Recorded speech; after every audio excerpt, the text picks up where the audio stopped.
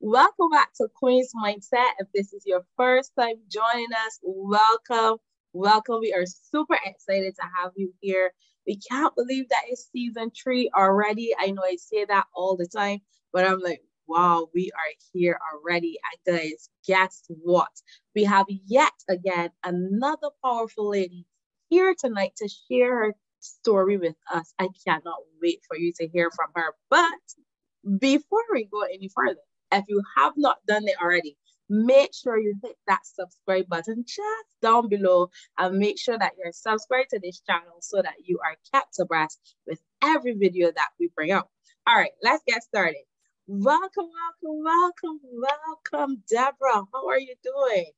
Thank you. I'm fine. Thank you. How are you doing? I am doing well. We're super excited to have you here with us tonight. I can't wait for you to share with them. But before you share anything, I wanted to tell us a little bit about who you are and what you do. what do I do? I wear many hats. Mm-hmm. I'm Deborah McCollin. Some folks know me as Mariposa, and most recently from November 25th, Coach Mariposa. Uh-huh. Why? Because I was in the poetry arena performing, and that was my name. I used to use Mariposa, but there was a there was a fight going on in me to stick to the poetry or to do coaching to help ladies who were abused. Mm. So e- eventually, I made a decision. You know what? No matter what you do, coaching is there. It's not going anywhere. Yeah. So get to it. I like that. I like that. Get to it. You heard that, ladies? Get to it. Do not delay. Get to it just exactly. like Deborah did. Mm-hmm, mm-hmm. So, Deborah, you have a story that we can't wait to unpick. I like how I've been asking all the other ladies. I want you to start from the beginning and tell us where this started. a story of abuse, mm. and people people find it weird when I when I smile when I say, yeah, because I have passed that stage now. So I can afford to smile when I talk about it and when I pull others along. But it started when I was little. Mm-hmm. Child abuse. My mom, she used to leave me next door. And I had an older cousin who thought yeah. little Debbie was cute. Wow.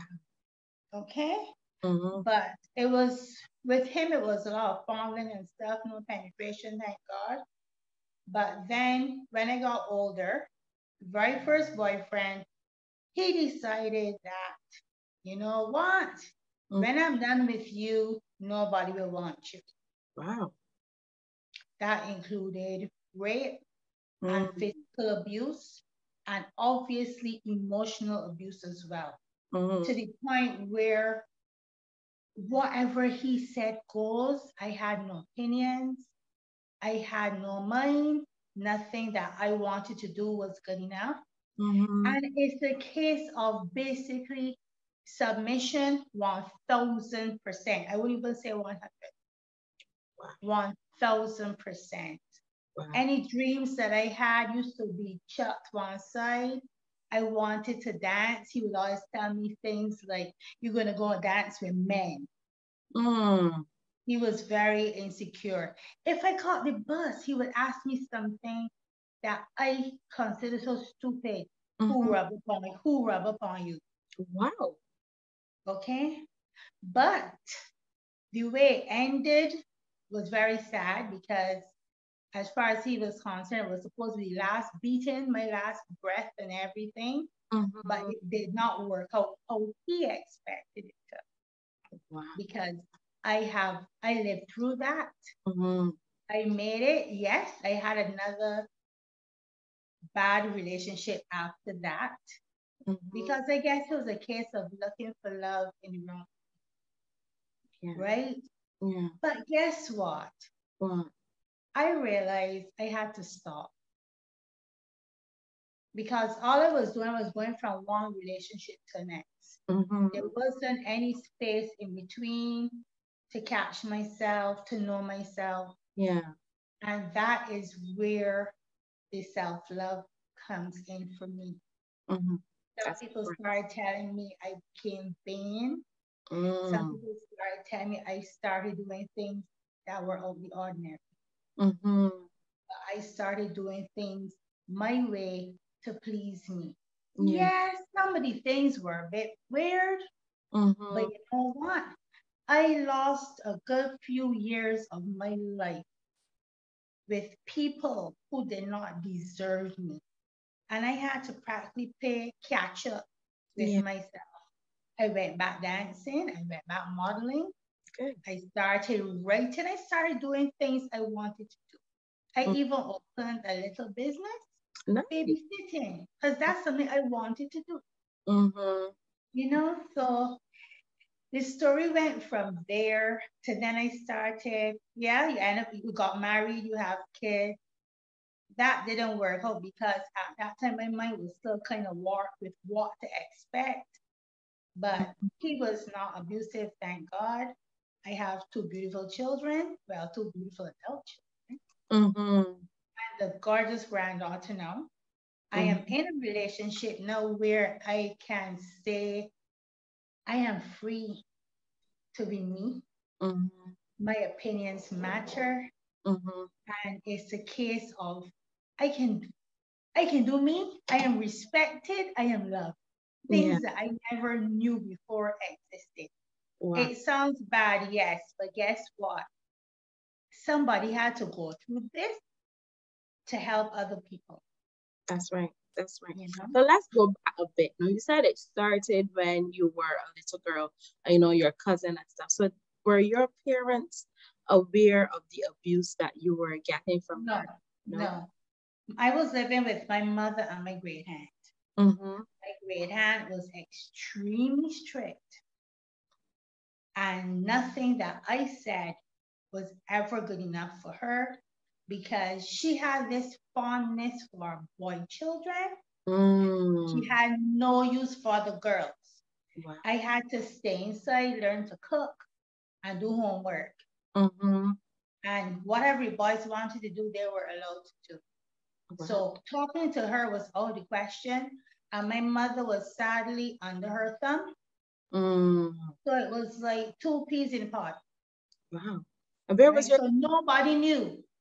Nobody knew about that. and where was your dad? Where was your dad when all of this was happening? Was he around? My dad was not around, Wow. but my mother called him when I started acting out. You know, when you become a teenager, Mhm. sometimes you do some really strange things. Yeah, that's And, yes. and he came around because, according to him, I embarrassed him an evening at his workplace. Wow. So he came around then. Mm-hmm. And he decided I needed a father's correction. Mm. So he took off his belt Mm-hmm. and I raised my hand Mm-hmm. and I grabbed the belt because you were not in my life before.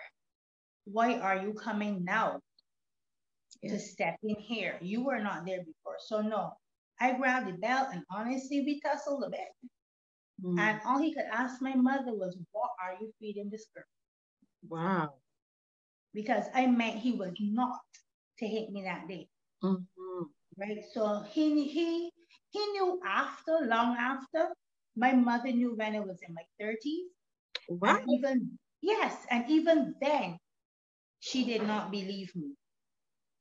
Really? Even then. Okay. The situation the boyfriend, they know about that because that came to the stage where police had to be involved because I went to the police station. Okay. Your cousin? No, for the boyfriend, Oh, for the boyfriend. Okay. right? But then they knew about that with my cousin. She Mhm. only knew about that in my 30s, and even then, like I said, she did not believe it. And did I she have, why she didn't believe you, or she didn't believe me. did she say why? Did she say why she no, didn't? she didn't say why. She didn't say why. Since then, I've seen him Mm-hmm. And one time I used to feel this anger. Yeah. Yeah. I don't feel it anymore. I don't feel it anymore.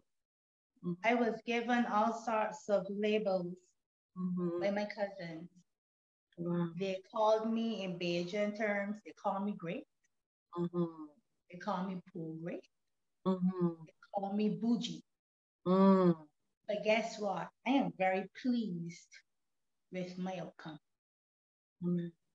Amen. Because all of those people that had all these things to say, none of them, sad to say, has they have they accomplished anything with their lives.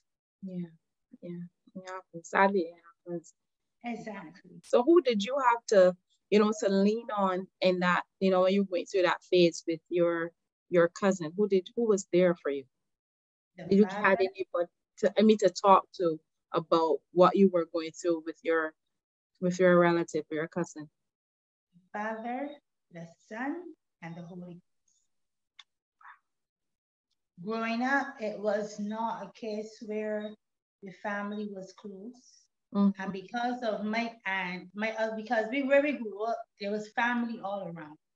But as much as it was family all around, nobody wanted to come around because of my aunt. Because not only was she very strict, but she was she was really mean to the kids in the neighborhood. Wow. You know, kite mm-hmm. flying time, you couldn't fly your kite around her house. You had to go all the way down away from her house. She was mean to everybody. So there wasn't anybody ready for me to talk to that sort of way. Mm. Wow. Okay, so now we speak. We went. So how old were you when when that happened? That encounter with your cousin? I was about nine. Only nine. Wow. Yeah. Oh. Yeah. So now you grew up. Your father wasn't in the picture, so you didn't have anyone to, you know, you didn't have a father's love in a sense. Well, let's not say he wasn't in the picture, but he wasn't in the picture in the way that he, he should have been. And well, I must say this. Mm-hmm. I had an un- I have an uncle. I have to say I have because he's still mm-hmm. around. Good. But he left he left the island when I was five years old. Wow. And he's the person that gave me the name Mariposa because he used to call me his baby butterfly. Mm-hmm. But he wasn't there then. But like probably like just after yeah, the real thing, the real big incident happened. He mm-hmm. just miraculously reappeared in my life, sending letters and everything. So I told him what happened, and he said, "Baby girl, you gotta be strong. You can beat this. Do not let this beat you." Mm-hmm. he was really upset with mommy because she didn't listen. Mm-hmm. Even as an adult, she didn't listen. Yeah. yeah. You know, sometimes what I have found, sometimes when parents hear these things, for some parents hear it for the first time, they're in such denial mm-hmm. that instead of, you know, believing it, they try to find ways to prove to themselves that it couldn't be true because yeah. the, the fact that it is true hurts more than the reality that yeah. you know maybe yeah. isn't you know so most times that's what i find happen but now you've moved past this um this first encounter now of being abused you've grown up now you're into the dating arena and you found this man and you said as you got into this relationship here comes abuse again. But I want to ask, were there any signs? Because when you shared earlier, you talked about the questions he would ask and the different things that he would do, which stems off of that narcissistic behavior. Yeah. Were you yeah. able to spot those red flags no. before? Honestly, honestly, mm-hmm. I'll say this now. I know now because I know better. Back then, I didn't know. Mm-hmm. And it's a case of not having anybody to guide me, yeah. anybody to talk to. You know, when you go in school, your friends have boyfriends, and you hear what they and the boyfriends doing stuff, but you're not able to because you're strict. So then when you do get out there, you're not sure what's really happening, but you figure, okay, this is what it's supposed to be. Right? Mm-hmm. And if I had to go back in time now, yeah. I don't think I would have even looked in his direction. Wow. Wow. Wow. So at that time when he came, he was giving you something that you wanted. He was filling a void. exactly. but you just look past all the other red flags because this one void was being filled. Hey, I have exactly. a boyfriend. Exactly. Yeah, yeah. So when he started acting out and you know started tripping and so on, doing all these different things, uh, at what point did you realize, you know what, I have to get out of this? Okay, honestly, mm-hmm. it took me about three years. Mm-hmm. But the day that I decided this is it was a day when I decided I wanted to go to study. Hmm. That was a problem because mm-hmm. he was telling me, I think I am more than anybody else. And I want to be this and I want to be that. Which truly and truly, I wanted to be this and I wanted to be that. what is what is wrong with my doing these things? Yes. You know? So then I tell myself, you know what? This is it. I had enough of this nonsense. Mm-hmm. All you want to do is keep me down. All you want to do is to bruise me up. I had enough of this rubbish. Mm-hmm. So I remember quite well. I was working at a dentist at the time, mm-hmm. and I told him, which was which I think that is a mistake on my partner. I told him, I want you to come to me at work. Mm. When you come for me, I want you to come by me and take your things and take them home. Mm-hmm. That evening, he came for me at four o'clock. I got home at 30 the night in the company of the police. Wow. How? Because after all he did was done, he mm-hmm. drove up to the top of the hill and I realized, you know what, there's a policeman right here. I told him, I need to vomit. Mm. And he said, Not in my car. I said, Okay, no problem. He mm-hmm. said, Open door and do it. The door opened, I flew out. Wow. I even ran past the policeman to the police station that was right there on the top of the hill mm-hmm. barefooted. And by the time I got in there, I could not even talk because I was out of breath. Then for when I got there to hear, wait a minute, your mother came here reporting you missing.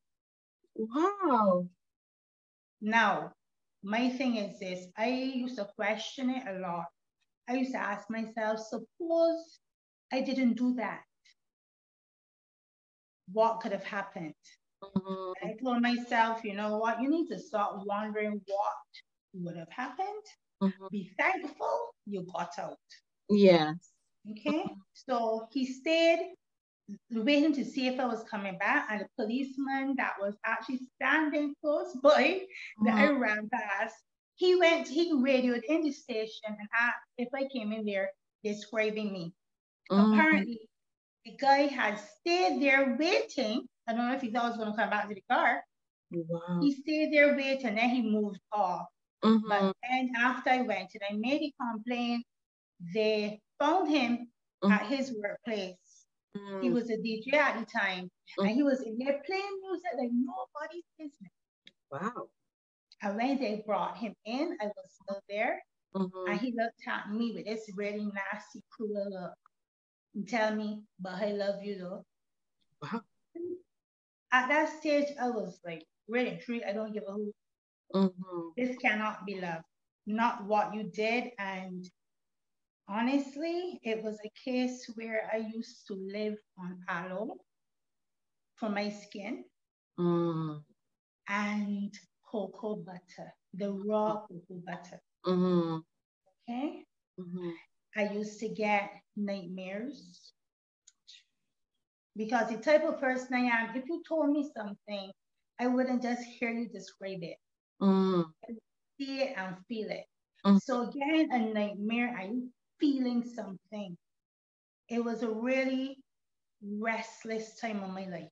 Yeah. To the point I quit my job. I didn't want to go to the house. Nothing. I didn't want to do anything anymore. Mm-hmm. Right. And that was really rough. Wow. wow, wow. So you started to have um, patches of depression. That's what you were experiencing at that time. I think, I think it was probably pastures, not patches. it was really, it was really a lot. It wow. was a lot because, like I said, I did not even want I didn't even want to go to the supermarket. My, my, my. Right. And all this time when you were feeling like this, he was still around, still doing the same things? Yes. Mm. But not with me. Okay, so you guys had already broken that you were no on your own now. It's just I was done. I was done. I was done. I did not look back. Mm-hmm. He could have thought dead for all I cared. I wasn't looking back because after you did that to me, and you're gonna tell me when you're done with me, nobody's gonna want me. Yeah. And then you're gonna turn up in the police station and say in front of the policeman, but I love you though. Mm-hmm. Mm-hmm.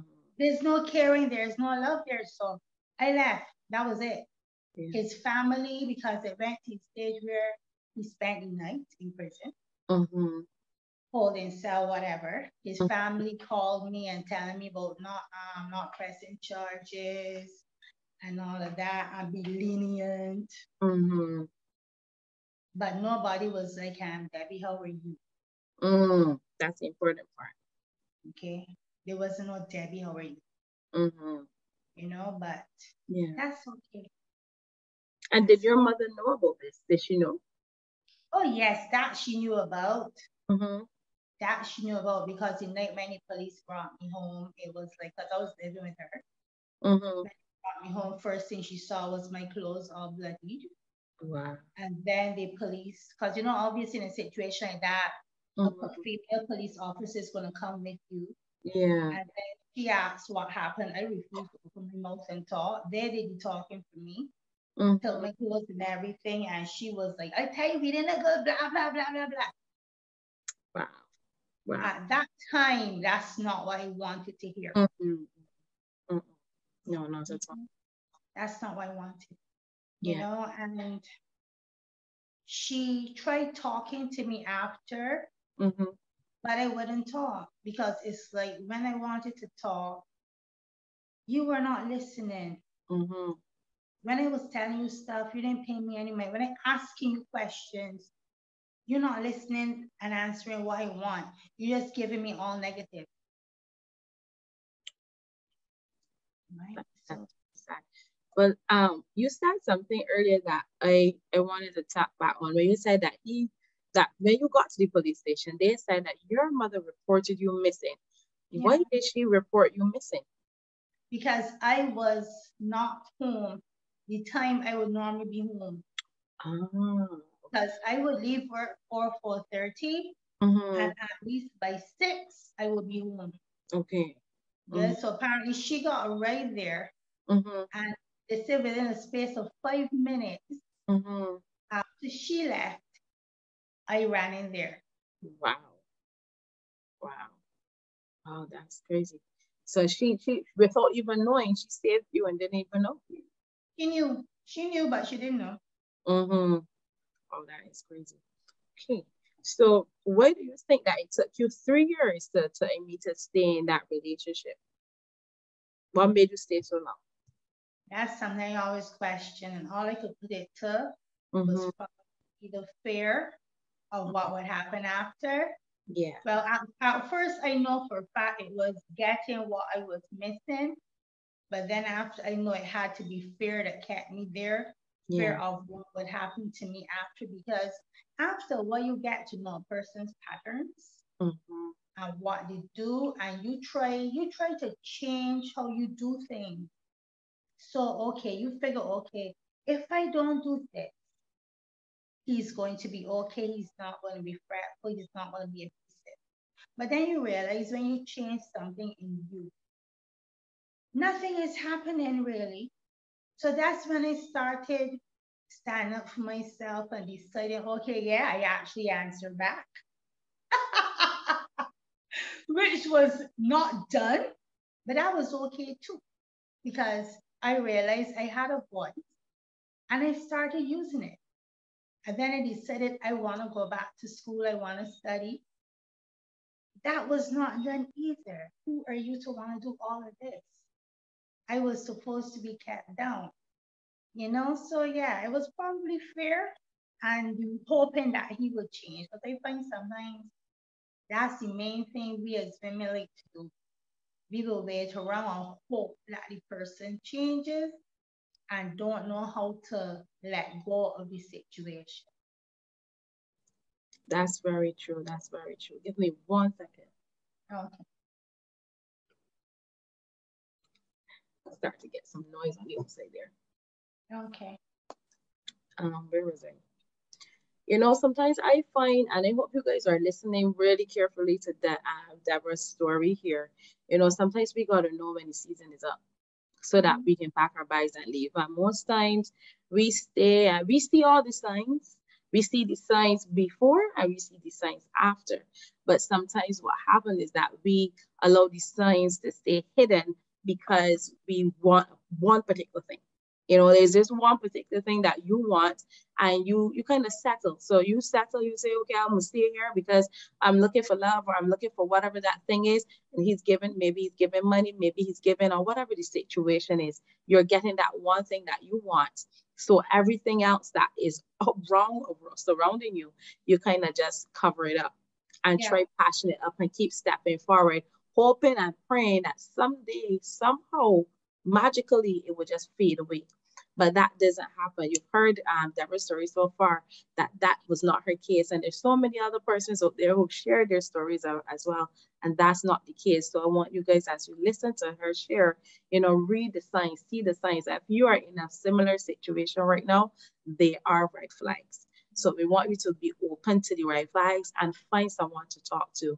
I know every situation is different. It's not easy to, you know, to go to your family. Like Deborah wasn't able to go to her mom, but you may have someone outside go to a counselor. Just find somebody who would listen. Go to a pastor. You know, go to someone and get that help. But don't stay there and suffer in silence because that's the worst place to be.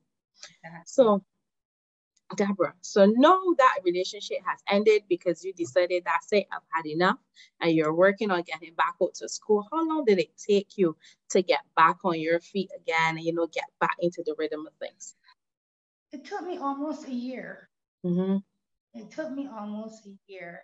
Because, mm-hmm. like I said, I didn't want to leave the house. I didn't want to go anywhere. I was ashamed. Yeah. I and even when I did start going back out, I started covering up a lot because even though the marks were healed mm-hmm. from other people's eyes, for me, I was still seeing them. Yeah. I was still seeing them and I was still feeling them.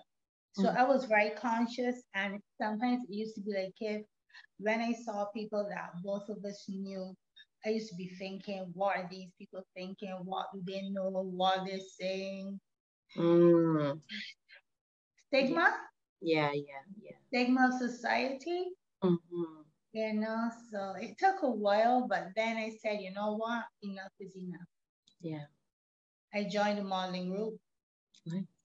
Started modeling. Kinsey Thor, may you rest in peace. I started back dancing. Mm-hmm. All the things I loved, I started doing mm-hmm. sometimes in excess, mm-hmm. partying and everything because it's like the chains are off for me now. So I can be me, I can do what I want to do for me. Yeah. Mm-hmm. Yeah, that's good. That's good. So what are some of the steps then? Well, I mean, okay, you just shared you started partying, started going, started doing things for you more. Were these the steps that really helped you, or were there other steps that you had to take to really, you know, to truly heal and, you know, to heal that wound? Those were not steps to help me. I think those were the steps to actually get me out the house. Mm, okay. To get, and honestly, it, at that time, at first, when I was doing all these things, it felt as if I was doing it to get back at him. Like saying, okay, see me now. I okay, I mm-hmm. doing me. Mm-hmm. Because there were times when I was out there without actually seeing. Wow.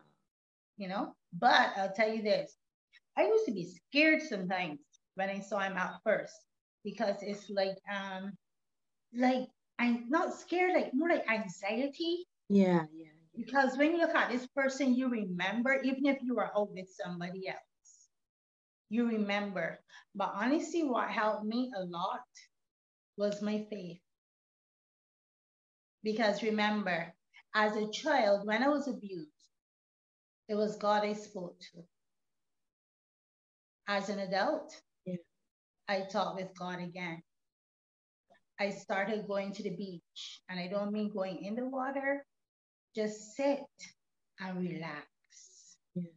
process my thoughts, do a lot of self talk, things that I know now that I didn't know what I was doing, but I know it was working for me and I Mhm. was better about myself. Good. And I started realizing it wasn't the need for hair and makeup and clothes. I Mhm. actually needed me then, not somebody else, nor things that money could buy. Yeah. Yeah.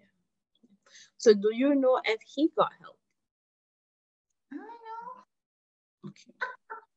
I have no idea. I Mhm. cut ties Mhm. totally, Mhm. totally. Mhm. Even our friends, Yeah. I cut ties with them too because I remember one of his set friends saw me a couple months after, well, Mhm. probably like a, probably two years after, and he said to me, "I hear you putting a man up in your pen. How you could do that though?" Mm. And my reply was this, and I kept walking because I have nothing to say Yeah. to people who are going to be judging me Yeah. and not knowing the situation, That's right. you know. Mhm. But I know I got my help from inside. Yeah. And eventually, as I got old, I started reading more and, you know, doing personal research Yeah. to help myself.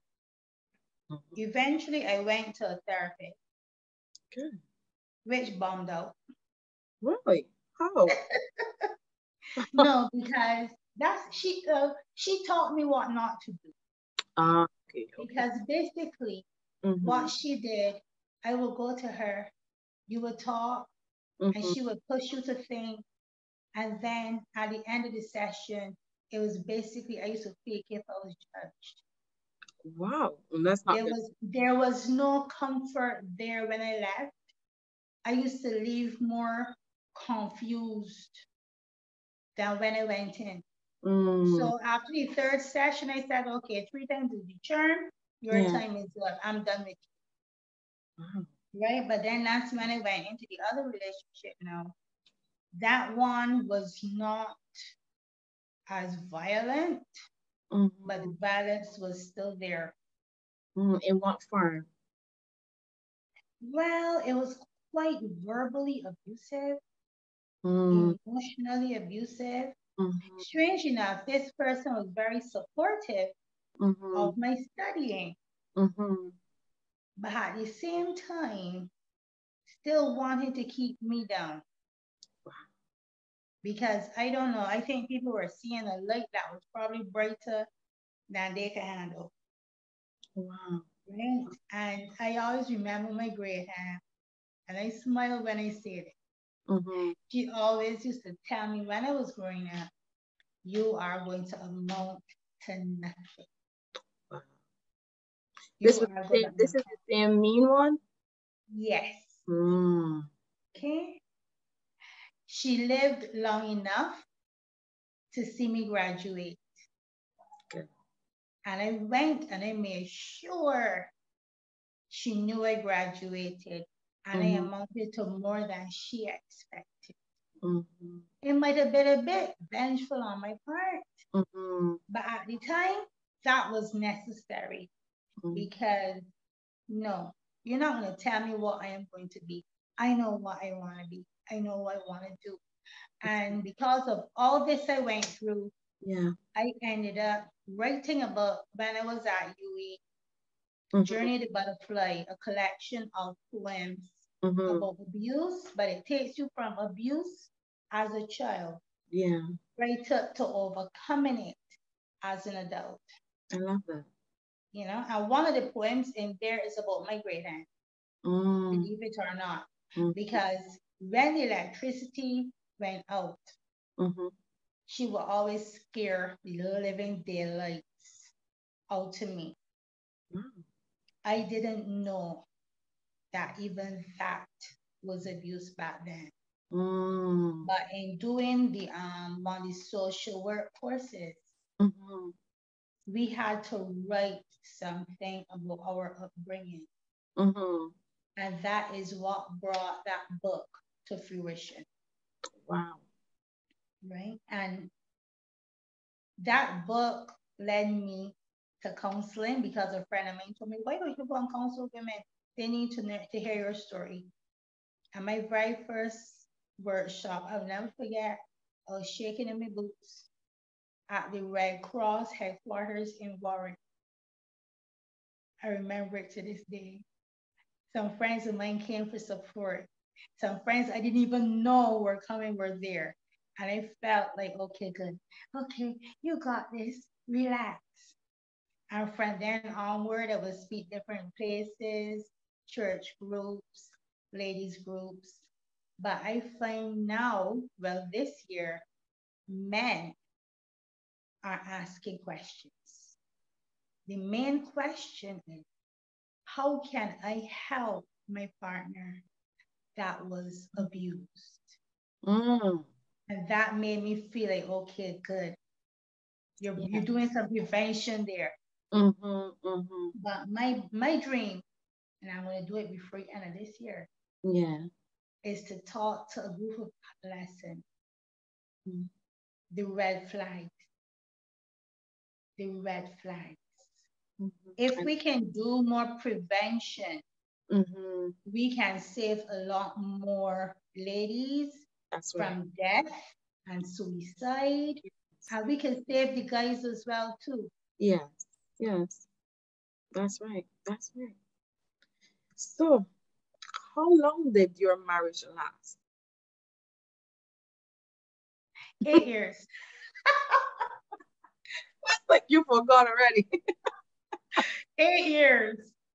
Well, eight years. Okay. Well, are you? But you said you got something beautiful from it because you got your beautiful children from that marriage. So that that is good. But That's when right. you started to recognize those signs, this was closer to the year eight, or was it before year eight that you recognized? Okay, hold on. I'm seeing some traits from my relationship. Not exactly the same, but they're very similar. But he wasn't abusive. Mm-hmm. He wasn't abusive. He just did not know how to cope. Because Mm. at that time I was quite I don't know how to describe it, but I Mhm. was angry a lot. I was angry a lot, and he did not have the presence of mind to say, okay, this is because of her past. There used to be a lot of arguments and stuff. Yeah. I I end up most of the time arguing with myself Okay. because he would just walk away, and then that would make me angrier. Mm-hmm. So I say, you know what? This is it.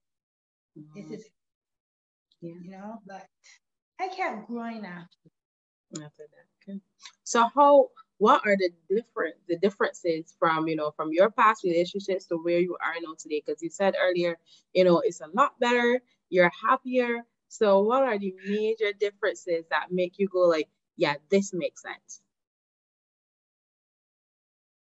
I have my freedom. Mm, I am my own person. He's his own person. We're two different people, but we're still in a relationship. mhm, That matters. At first, I didn't know that existed, but it matters. Um, what else? We do things together. We do things apart. mhm. I have a voice, Yeah. even if sometimes you have to agree to disagree. And we have, there's a lot in common, but we, we both respect the fact that it's not everything we're going to agree on. Yeah. Nobody raises hands. Nobody raises voices. Mm, Everybody listens. Yeah. Honesty, and mhm. most of all, respect. There's lots of love, but lots of respect. Yeah. You know, um, Tina Turner, I remember she said, What's love got to do with it? Mhm. I thought it was crazy at first, Mm, but then I found the word respect. And respect goes a long, long way. Respect, including honesty, yeah. including being able to speak out and say what you have to say mm-hmm. without blowing up. Yeah. You know, so those are so many differences. Mm-hmm. And we're both crazy people, so I'm very supportive in what we're mm-hmm. very supportive in what each other is doing. Yeah, it's good. Very supportive. That's good. That's good. That's good. Okay, wow, wow, wow, wow. So I know we're coming close to the end, but I have to ask, um, for that woman out there who is in a similar situation that you are, if you had to give that woman some advice, what would you say to them? First, use your voice. Mm. Let somebody know what's happening.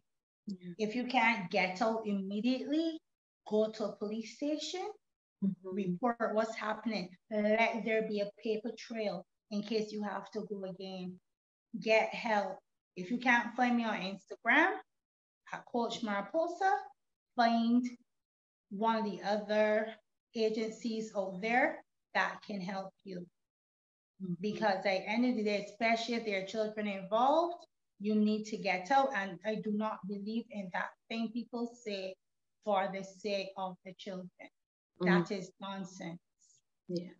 Right. So you gotta you got you gotta be honest with yourself when you realize it's not working. When you see those red flags, don't go and paint them over. Mm-hmm. Don't gloss them over. See them for what they are. Because you were not born to change anybody. If somebody wants to change, they do it themselves for themselves. Yeah. Yeah. You know, so I think that's something I would tell people, and that's something I pass on to any and everybody that I encounter. Yeah.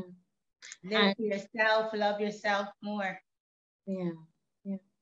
And now knowing what you know now is what would you have done differently? Run. Run hard. well, guys, you heard it. You heard I would, have, I would have left from the very first sign. Mm.